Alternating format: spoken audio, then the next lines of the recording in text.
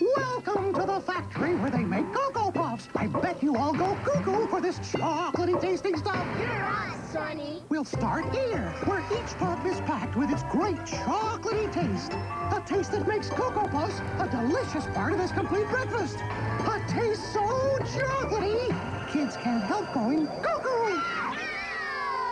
Now, on the back of marked boxes of Cocoa Puffs, one free fold-out factory. Load it up and let the good times roll.